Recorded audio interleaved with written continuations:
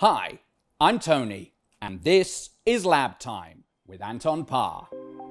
Toothpaste, shampoos, lotions, sunscreens, lipsticks. Personal hygiene items we can't live without. Formulations for these products must have certain physical specifications.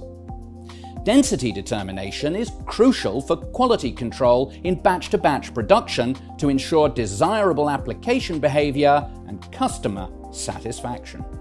It's also important in the packaging of the formulations, which are typically filled by volume but labelled by weight.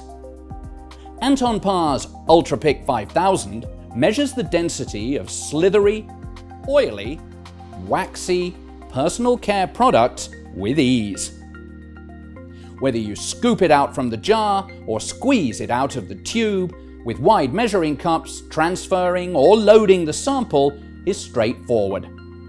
The instrument doesn't care what form or shape your sample is, if it contains chunks or beads, or if it is smooth as butter.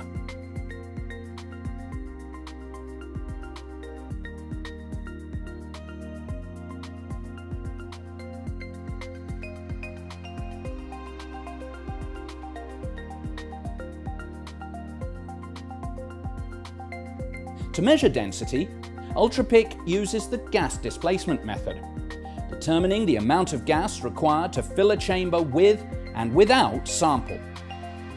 The TruLock lid ensures consistent sample chamber volume every time you close it. Otherwise, any variability here will appear to be coming from your samples. Does the density of personal care products depend on temperature? Absolutely.